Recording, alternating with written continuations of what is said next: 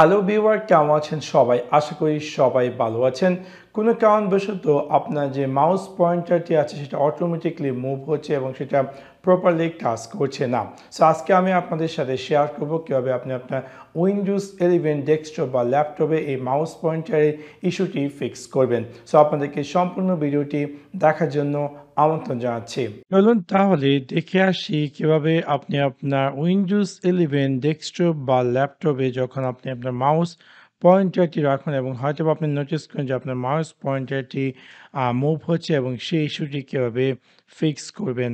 সেই কাজটি করার জন্য আপনি আপনার উইন্ডোজ ইলেভেনের সার্চ বারে যান এবং এখানে গিয়ে ট্যাপ করুন M A I N dot CPL এবং আপনি পেয়ে যাবেন মেইন সিপিএল জাস্ট আপনি এটাকে ওপেন করুন ওপেন করার পর আপনি দেখতে পারবেন যে মাউস পয়েন্টারের অপশন অ্যাপেয়ার করবে। এবং এখান থেকে একদম উপরে আপনি পেয়ে যাচ্ছেন পয়েন্টার অপশন এটাতে আপনি ক্লিক করুন ক্লিক করার পর আপনি দেখতে পারবেন যে এরকম একটি স্ক্রিন অ্যাপেয়ার করবে। এবং এখান থেকে যদি ইনহ্যান্স পয়েন্টার প্রেসিশন এটা আনচেক দেওয়া থাকে, তাহলে আপনি চেক করুন। এবং আদার যেমন automatically move pointer to the default button in dialog box এটাকে আপনি আনচেক করে দিন।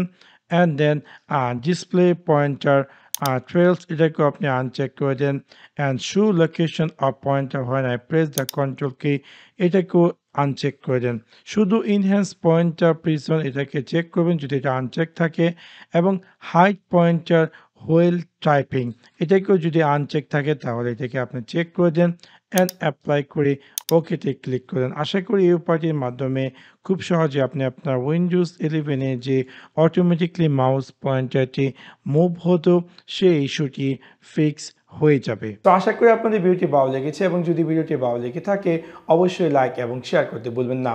Thanks for watch my video see you next one peace